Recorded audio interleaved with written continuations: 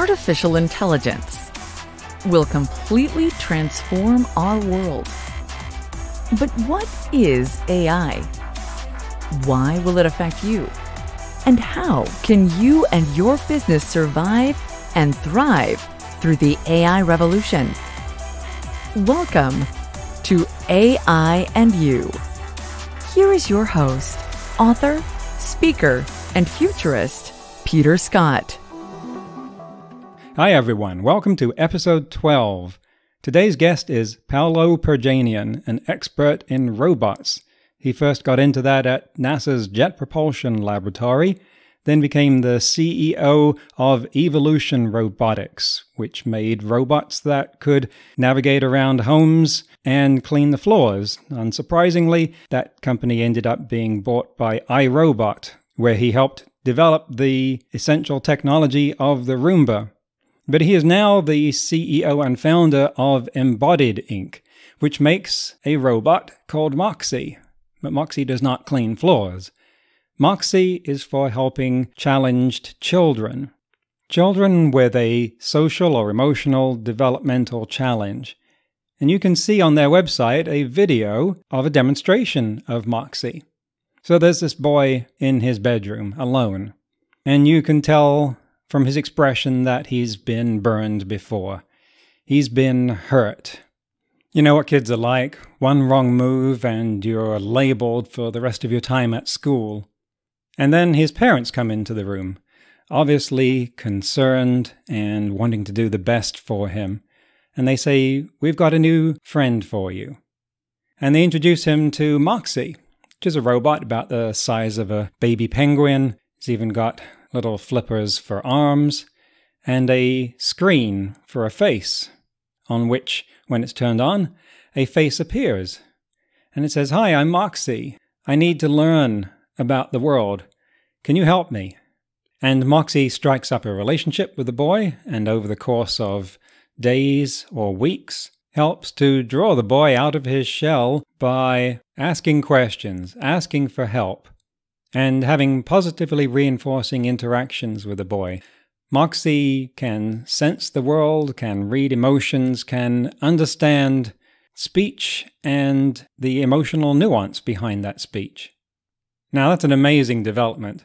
If you watch that, I'm sure you'll have lots of questions, and I hope that I've asked most of those in this interview. On the face of it, it seems like the ultimate challenge to build a robot that has to navigate such a difficult environment of helping a child, and an emotionally troubled one at that. Surely we should be tackling easier things first. We'll get into how Moxie is successful at doing that in this interview.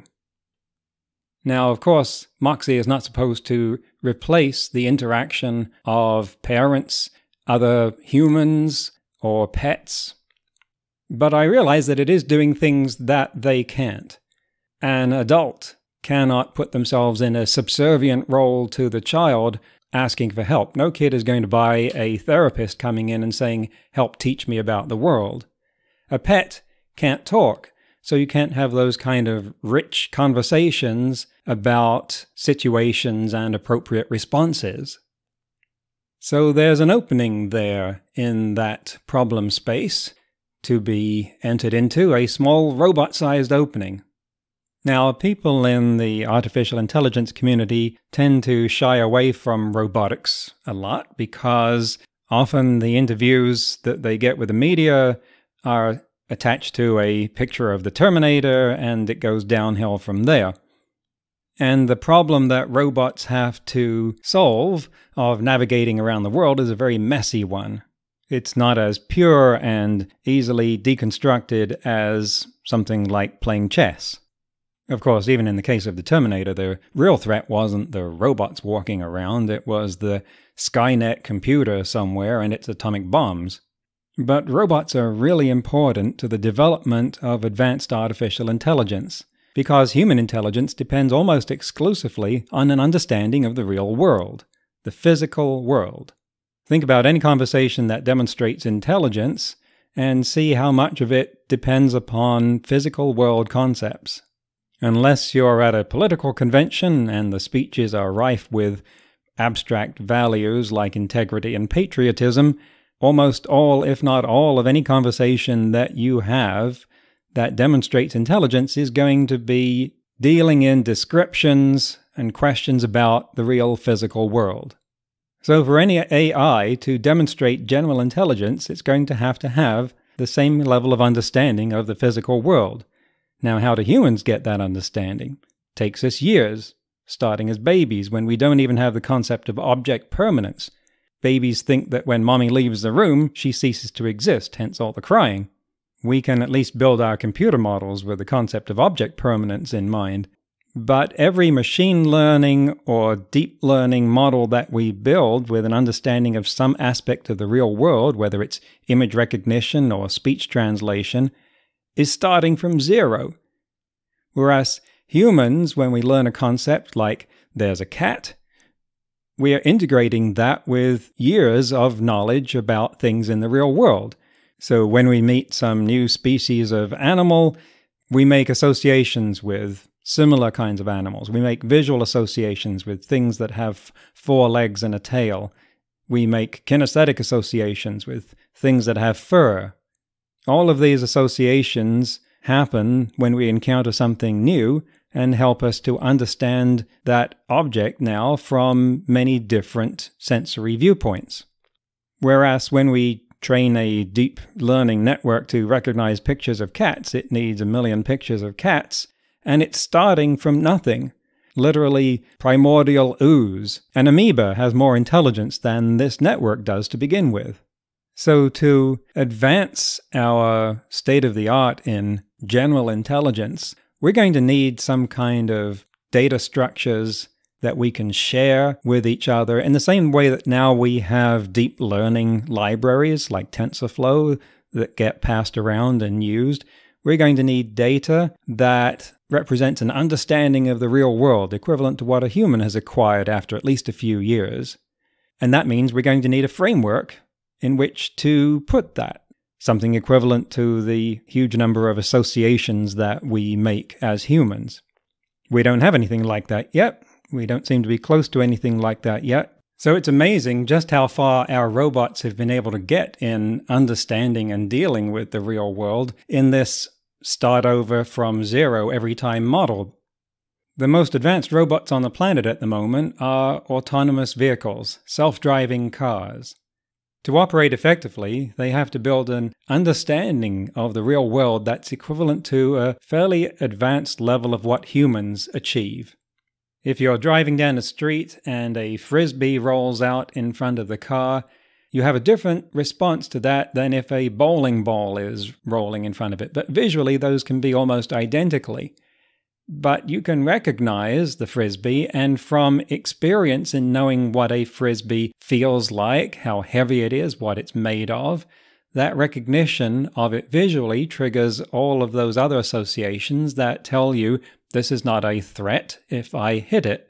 So I don't need to detour and risk some kind of other accident in order to avoid it. But a bowling ball, again, you have other associations that tell you, yes, this thing is a lot heavier and harder and could cause some significant damage. So I am justified in taking more drastic steps to avoid it.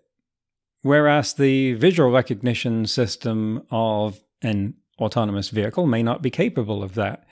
So it has to fall back on other data like hopefully the ultrasonic or microwave or radar on the vehicle is able to determine the density of the object and that that's been programmed into it as uh, an avoidance factor.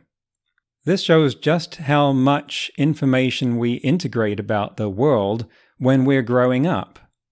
We're training our cat recognition AIs on just static monocular images of cats but when a human encounters a cat for the first time, you've got stereoscopic vision that lets you build a 3D model that becomes more sophisticated and detailed as the cat moves around, and so do you. You get to touch it, you get to listen to it. All of that information gets associated so that when you next see a cat, it pulls up all of those associations and you understand what it is on a very different level from what would happen if you were looking at a statue of a cat, which would pull up associations of statues and hard metal things. The word we use in AI to describe an AI that is part of the world and understanding the physical world through senses is embodiment. Hence, Paolo's company's name, Embodied Incorporated. So, the real key to the development of artificial general intelligence lies in building its understanding of the real world, and the path to that lies through building more advanced robots. What Paolo is doing with Moxie is definitely on the leading edge of that research. And so, without further ado, let's get into the interview with Paolo Pirjanian. Paolo Pirjanian, welcome to the show. It is a great pleasure to meet you. Can you tell us something about what you did at JPL and iRobot to begin with? Absolutely. So uh, I had just finished my PhD in Denmark, and uh, one of my childhood dream jobs was was actually working for uh, NASA. Um, so I had already made some contacts while I was doing my PhD and got an offer to join JPL uh, in a group that was working on robots or rovers for Mars exploration. Uh, so I was there uh, for two years and part of a team developing robots for future missions uh, to create habitats on Mars and for other uh, science activities on on on Mars primarily. We were doing a lot of our experiments on Earth, obviously. Uh, so the Arroyo Desert, just behind the JPL, is where we would go because you have uh, pretty rough terrain there, and you could do experiments with seeing how these robots uh, can maneuver in uh, climbing cliff sides or uh, going down fissures and stuff like that. Mm. And did you come to them with an interest in robotics already? Uh, well, I was just uh, pretty new in my career, so I wouldn't say that I came with them with a bunch of ideas. I came with skills, and I helped them uh, develop a couple of things uh, that I think I will uh, say is my claim to fame at at uh, JPL. So uh, one of the things I developed, I was the lead on this, but of course it's a team effort. Uh, was a group called uh, a group of robots we called Cliffbots, and it was an ensemble of robots tethered together that would be connected to each other, navigate to find the cliff edge, and then two of the robots would separate, anchor themselves, and then help the other third robot to propel down the cliff side tethered up to these two anchors. Mm. And the reason for the cliffside was obviously the uh, scientists, the geologists were interested in looking at the history of the planet and going through different layers you can get access to by going down a cliffside. Wow. So, where did your interest and enthusiasm for robots date from? It's a very good question, and actually, uh, I know exactly what when it happened. So, uh, when I was in my teens, I was actually a refugee. Uh, Armenian, born in Iran, ended up in Denmark as a refugee, and had fallen way behind in my schooling because of all the sort of traveling from country to country uh, to get there, and then being in refugee camps for a couple of years before getting an asylum to be able to be integrated into the society. So uh, at the time, my idea in my mind was I was going to be a doctor because my parents, as any good immigrant parents, will tell their child, be it become a doctor. Uh, until by pure coincidence, I bought a computer. I think this was probably 1984 or something like that, uh, which was a Sony MSX computer which was a contender to, to the Commodore 64, which was the popular computer at the time. And that summer, I basically started coding all by myself. Uh, it started as a complete black box, and I started reading manuals. Then I started figuring out how to pick and poke uh, and code, machine code, and then gradually got to a basic coding and all that. And I remember during the same summer, uh, I saw a documentary on this company called Pixar uh, on TV. and I saw the first animated short, which is Luxo Junior, which is the two lamps playing with each other, mama lamp and baby lamp playing with a ball. And I was so blown away by that because I, I was struggling making a pixel appear on the screen of my, my computer's monitor. And when I saw this, I was like, wow, how is that possible? How can you make this happen? Literally, uh, having animated characters that can express emotions and so on. So that completely changed the trajectory of my life, and I decided to go to the university in computer science and computer engineering. And uh, while I was there, when I was looking to do my master's program, I was visiting different labs. I remember walking to the lab that was doing robotics, and I fell in love with the robot the first time I saw it. And I decided to go that that uh, basically followed my curiosity to get to that point, and then have been doing that since. Ever since. And then you were at iRobot and made some significant contributions there. Can you summarize that? Actually, so there was one step be- between there. So as, as I was at JPL and working on my dream job, I got contacted by Bill Gross of Idealab, who is a uh, multiple, uh, I mean, ser- serial entrepreneur, but he actually calls himself parallel entrepreneur because he usually has an incubator with multiple companies going on. And uh, he wanted to start a company in robotics, uh, and they were looking for a CTO. So he and I talked. Uh, again, the curiosity got the best of me, and I was interested in learning about entrepreneurship.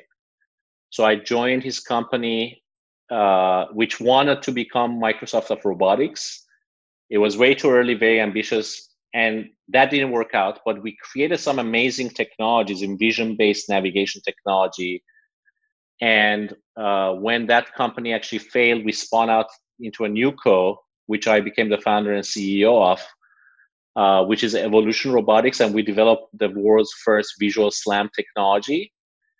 Uh, launched our own robotic floor care product for hard hard floor cleaning and that was really interesting to iRobot. So iRobot decided to acquire our company, and uh, as part of the acquisition, they asked me to become the CTO at iRobot and help them integrate our visual navigation technology across their product portfolio, which is Roomba primarily. So now Roombas are no longer random; they're smarter now. Visually, they can actually map the house uh, figure out how to go from room to room and cover every single square inch of the floor, not to miss a spot. So uh, that would that would be my contribution probably to iRobot. Well, thank you. Um, you used the term there, SLAM. Could you spell that out? Yes, simultaneous localization and mapping is is the name of the technology. And what does that mean in robotics? So it turns out one of the uh, hard things in robotics at least when we started in early 2000 was how does the robot figure out where it is in a in an environment and how does it know how to get to where it wants to go? So this is something for people that may not be uh, in technology it's hard to imagine. Why would it be hard for a robot to know where it is? Well it is hard because the robot has no point of reference so it has to have some way of measuring where it is in the environment relative to something. Uh, and so uh, many different approaches had been uh, used, but SLAM, really the notion of simultaneous localization mapping became the solution, which is basically a very simple concept is that if I was given a portion of a map, if someone handed me a map of a building and said, figure out where you are on this map, I could look around myself and measure distance to walls and compare to the map and say, oh, okay, it looks like I'm at this corner because I see a door I see a window and I see the same thing on the map, so I know where I am. But if you are not given a map, which is a, a situation with a robot, the robot does not have a map. The other thing would be to say, if I knew my position very accurately and I start measuring uh, what I perceive in my environment and start drawing that, I can start drawing out the map, right? But the problem is that the robot also doesn't know where it is because its position accuracy is very bad. Because usually you can measure your relative position using the onboard sensors such as odometer and inertial uh, navigation systems to measure your position, which is like odometer in your car. But that is not very accurate. when you start moving away from your initial position, your position starts drifting. So you have to have an external fix, right? That's why with the odometer of your car, you could not do what the GPS does for our current cars with navigation system. So, so it's a chicken and egg problem. If I had accurate positioning, I could build a map. If I had a map, I could figure out my position. But I have neither.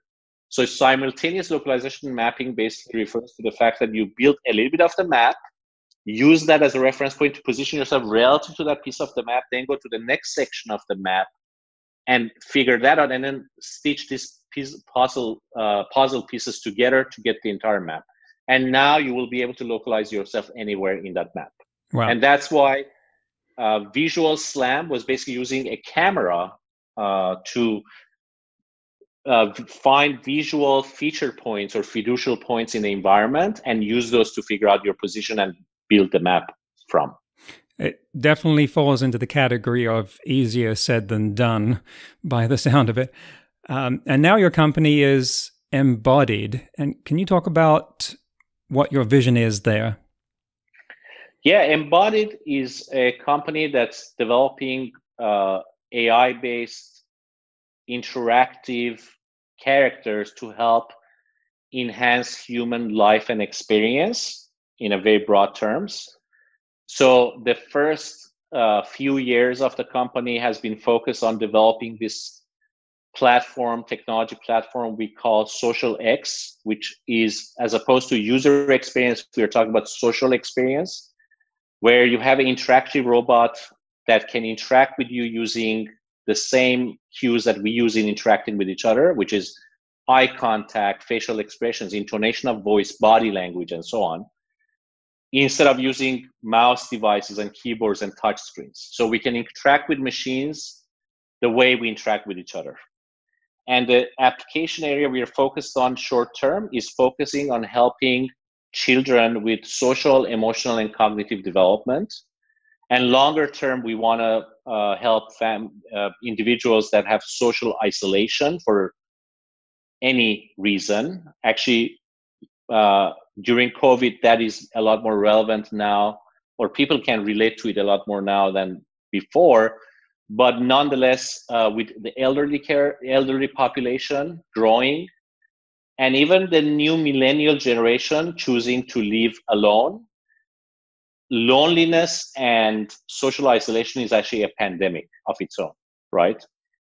Uh, and we we want to be able to develop robots that are providing companionship on one hand, but also are working on for children it's about neurodevelopmental skills helping children develop their uh, skills on a neuro- neurodevelopmental side. Uh, a lot of it is with social skills and emotional regulation skills and communication skills.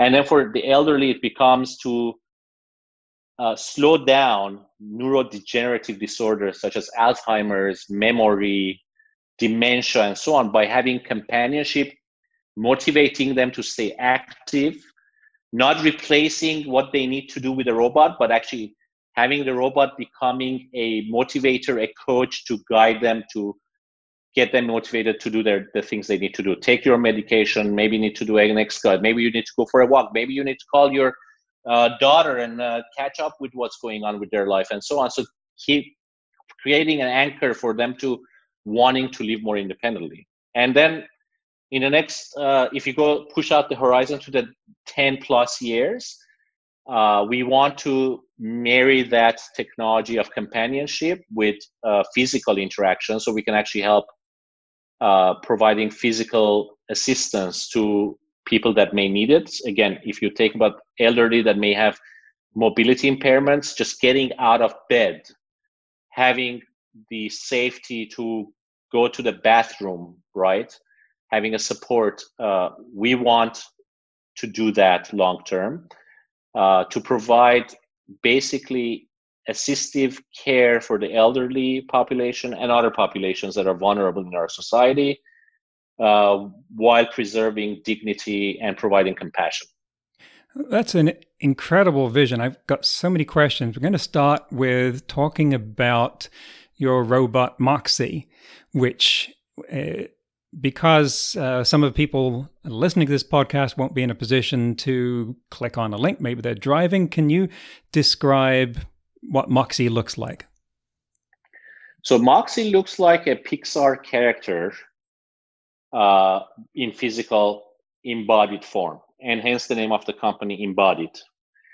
Uh, so it's a it's a robot that uh, is about a foot and a half tall. It's stationary. This first version, it, does, it doesn't have mobility, meaning it doesn't move around in the home.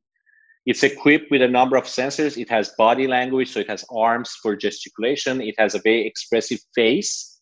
We actually created a curved screen so that it doesn't look like a flat panel monitor stuck inside the robot, but it's, it's actually curved.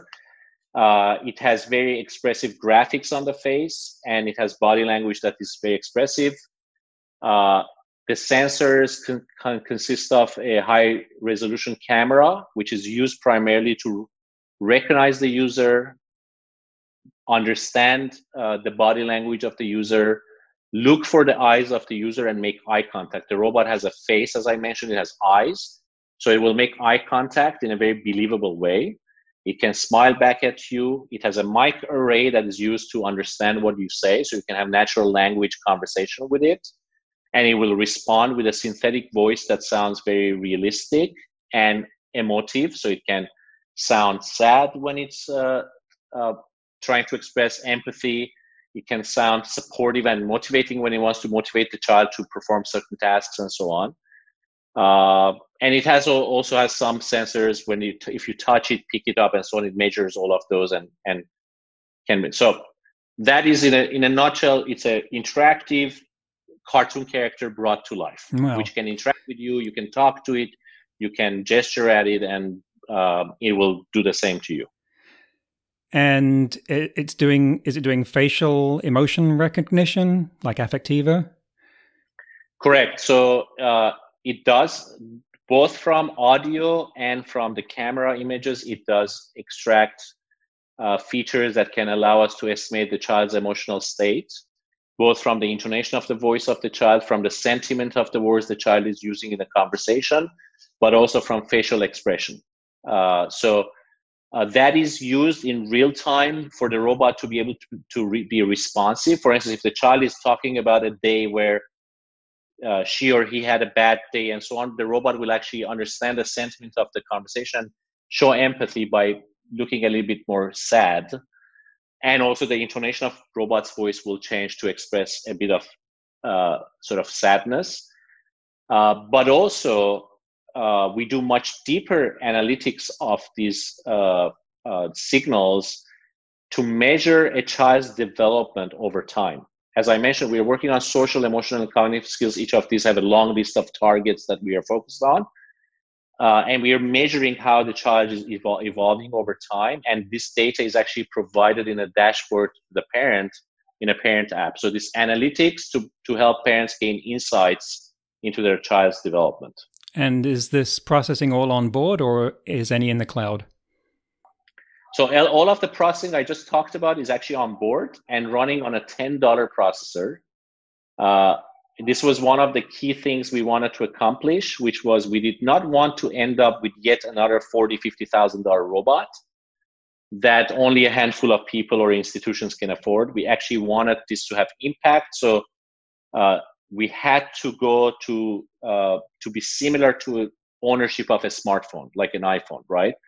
and the business model is the same so you pay for the robot plus you pay a similar fee for a subscription for the robot but all in all in for the first year of ownership including one year of subscription it's about a $1500 to own moxie uh, the only part that is not running uh, on board the robot is actually the voice recognition which is uh, one part of the whole stack of technology which is taking the sound clip of what you said pushes it into cloud. Actually, we work with Google and we use Google ASR, automatic speech recognition, to re- transcribe what was said, and a text stream comes back to the robot. And then the rest of it happens on the robot. The robot has to decipher what was meant, what was the meaning of what the child said, and then find an appropriate response, which our NLP stack does, and then the robot will respond. So if you say, for instance, I had a really bad day today. The the audio clip goes to to cloud. We get a text that sounds mostly like what I just said. There will be noise in it. Some of the words may be misrecognized, and then our NLP stack will say, "Oh, okay, this is that means the child is not feeling good." The robot will respond, "Do you want to tell me more?"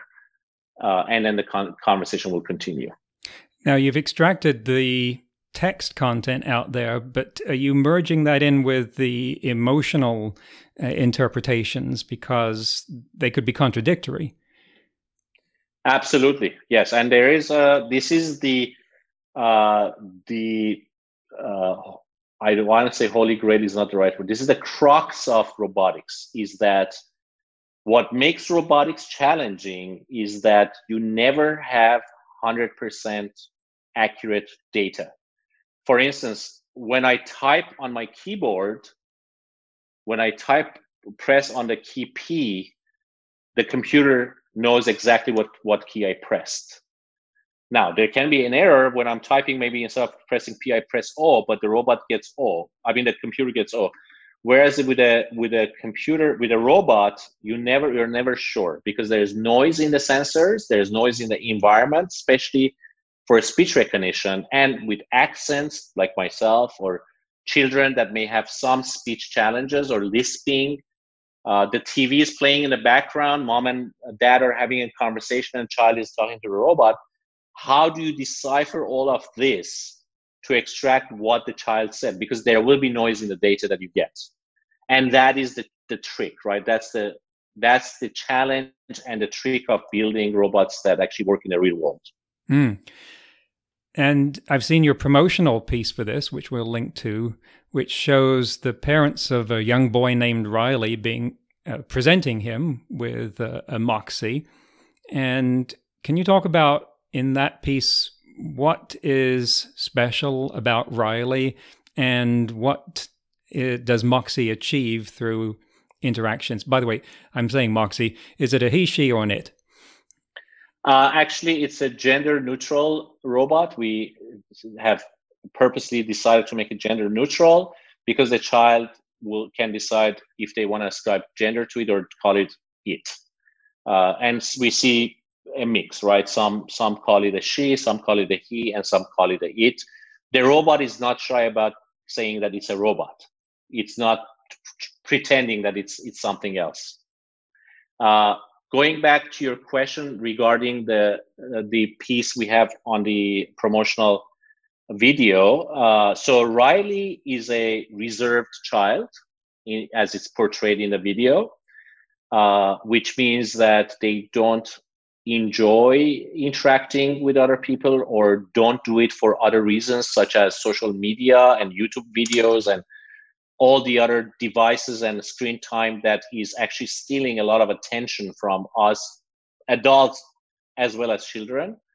And you want to bring them out to be able to socially interact. So what you see there is that moxie obviously it's a robot. It's a very cute robot. It's going to draw them out and wanting to interact with moxie. And you would say well what the heck are you accomplishing if you're replacing one technology with another to draw the child out? Well, the point is that Moxie is actually using body language and facial affect and voice and so on. It's not focused on the screen and just typing. And the way Moxie's program has been developed by our team of uh, game developers from child sort of children's uh, content and our uh, child development experts is to bring you out, start engaging with some activities, have the child share some of their thoughts and feelings with the robot, and then the robot will encourage the child to go do an activity in the real world. So in the in the spot, you also see the, the sort of the last uh, few seconds is where Moxie encourages the child to go talk to a friend and come and report back. So it's like a mission, a challenge you give to the child, and children are actually very excited about accepting these challenges from Moxie, and then they go do the physical activity, and then next time they see Moxie, they report to Moxie. Uh, so that's bringing the kid out of their shell and using Moxie as a springboard into the real world. That's the goal. Got it. So um, help me understand how this manages to be successful. On the face of it, this is on the face of it, this looks like a very difficult task. It's not like Alexa, which people would be very forgiving of, gives the wrong answer, no one minds. Here you're dealing with children that are socially or emotionally challenged. You've got to establish rapport using a robot with a child that apparently adults have failed to be able to do the same. And yeah. it, it looks like a minefield, not least from a, technical standpoint, but uh, a legal one. Uh, okay, that's a lot of questions. Where do you want to start? Well, I mean, I think the core of your your uh, question is a very good question. Is that this is super challenging? How how are you going to succeed? And absolutely, it was not lost on me when I left my job as the CTO of iRobot to go start this. That this is a complete moonshot project.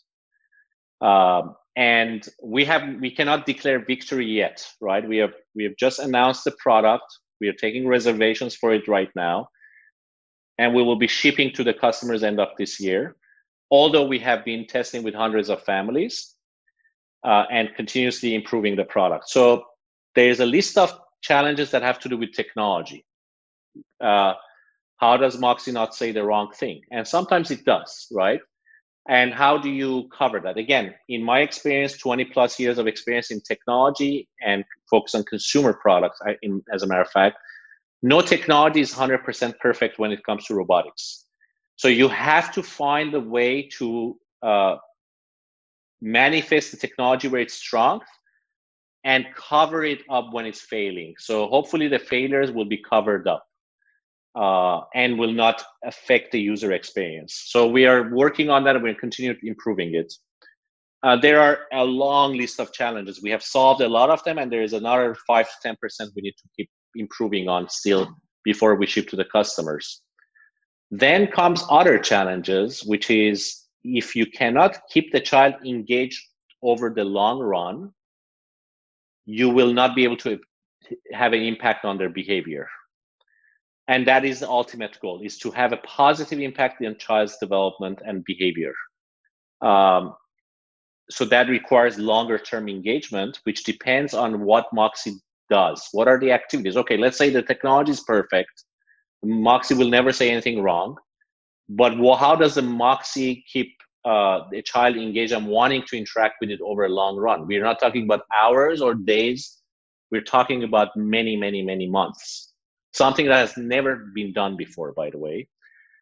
Uh, and we call that content. So we have a team of amazing people from our backyard here in Burbank, Glendale is where all the studios are from Disney to Jim Henson Company to Nickelodeon and so on. And we have assembled a very strong team of uh, experts from that field that are developing content that's going to keep the child engaged and motivated on the long run. We actually three weeks ago launched a, a beta program with 100 families who have been using Moxie, and so far the results are very encouraging. We are three weeks into it, and we see good engagement. Again, we're way beyond what has been done before, but that's not our goal. We want to go about 10 times longer than that. And the jury is out how far we can keep the engagement. Uh, so that's the other thing. And then finally, the engagement is just the hook gives us an opportunity to deliver the uh, the pill, if you will, to help the child improve there. So in the interaction, Moxie is deploying a lot of techniques from child development best practices, evidence-based therapy, and so on, to help children scaffold a lot of their skills in these areas we are talking about. And it's a long process. It's, so the robot is constantly measuring how the child is doing and then helping them go to the next level and the next level and the next level. The ultimate success for us is when the child no longer needs Moxie. When the child is successful in generalizing the behaviors that they learn from the robot in interacting with their peers in their in their social circle. You talked about having a finite engagement, like Moxie is not going to be a permanent pal for for someone. It's like a a course of therapy in, in that respect. But nevertheless, we're talking days, if not weeks, of engagement. Right now, makers of AI chatbots struggle to maintain seconds, let alone minutes of context. Now, to to what extent are you able? Okay, maybe we're getting into proprietary trade secret territory here, but if you don't mind, ten thousand people signing an NDA, never mind. Um, to what extent does the success of Moxie hinge upon being able to remember something that happened in a conversation two days earlier? Uh, it does depend to some extent. It's a good question. I don't know the actual answer to that, and we will f- find out. But what we have seen is that Moxie does have memory uh, about certain things. And one thing, just to your broader comment, is a very good question. Is that how do you sustain interest of a child in interacting with a robot for more than seconds, which seems to be the state of the art right now, right? You were saying the chatbots uh, cannot sustain interest for more than seconds, maybe minutes, and we are talking about months. Uh, well, it's a combination of a number of things. One is pushing the the uh, sort of frontier of technology to the next level. The other part is how we are um, programming the content structure. So let me talk briefly about that because that I think will explain a lot of things. So we have what we call scripted content, where Moxie is actually proactively engaging the child in doing certain activities. Uh, the way it's structured is that we have weekly themes that are focused on things that we want children to learn about. So a weekly theme, the first weekly theme, for instance, is about learning about emotions. And every day of the week is a new episode, if you will, in the theme. So this is structured content, like start, very structured programming. And Moxie will engage with a child to get them to start working on activities that are going to help them understand their emotions better. And then you go to more complex things. So now once I can label my emotions and, and understand how to relate to my emotions, why am I feeling the way I'm feeling? And I put a label on it. I don't even need to analyze it into too much depth. I put a label, I say, okay, this feeling is called A, this one is called B, this one is called C. Then next day we go in deeper with some of those emotions and start teaching p- children how to understand where they're coming from, and then we go deeper and start teaching them how to manage their emotions. Right. So there are activities like mindfulness activities, breathing exercises, and other techniques we teach children in learning how to do. And by the way, the, the trick here is to make it fun at the same time. Right. There's the sugar coating and then there's the medicine. Right. This is the this is the blending that's been very challenging. So then in between these transitions from very structured content, we do deploy generative NLP uh, technology that is filling the gaps. But if you will, we have created enough uh, posts in between so that the jump between these poles is not too bad. That means the technology wouldn't fall into water there. So between there, let's say, for instance, uh, we go to more complex themes like understanding what does kindness mean. So what we'll ask the child, what does kindness mean? I mean, that is a technology begging for trouble when you ask such open-ended question because you could get any answer you want. And then we have a blending of the, the structured scripted content and the chatbot content that is blended in a nice way to provide uh, enough variety for the child not to say, oh, okay, this is just every time the robot says exactly the same thing. And then on the other hand, not going off the rails and say for the robot to say something completely inappropriate. So that blend, so we put it in inside guardrails, which is the scripted content, and within that guardrail, we allow the hmm. NLP AI system to navigate freely in between those. But we have put these guardrails around that and then we have put some safety measures on top of it. For instance, there's a filter uh, on the robot's output in terms of what the robot will say that will take away anything that's inappropriate, profanities or themes or topics that we never want to touch because the ro- it would be responsible of us to, to touch those topics. Let's say death and stuff like that. We don't have enough context to even talk about those things, right? Uh, so that's how it's designed to uh, help the technology navigate within these guardrails that are designed by experts that are child development experts and experts from content for children. So that makes a very important point, which is that if you can narrow the context enough, then the uh, subject will be willing to forgive the cognitive lapses. Is it fair to say then that you're relying on building empathy between the, the, the child and Moxie here to to keep that relationship going?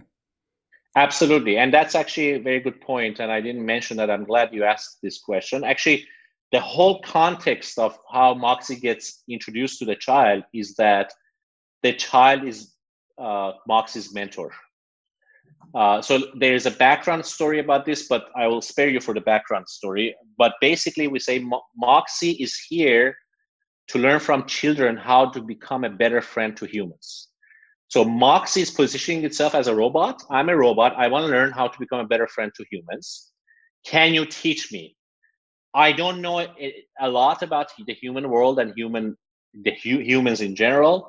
So that's why when Moxie says, "Can you tell me what kindness?" I've learned that I've heard that kindness is important to know and understand. Can you explain to me what kindness is? So that allows the child. First, you're building this this uh, relationship where the child is not the target, right?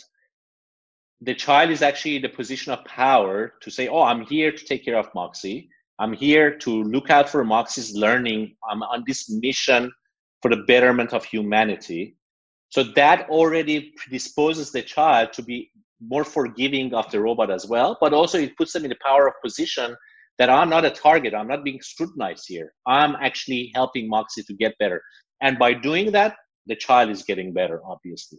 Hmm.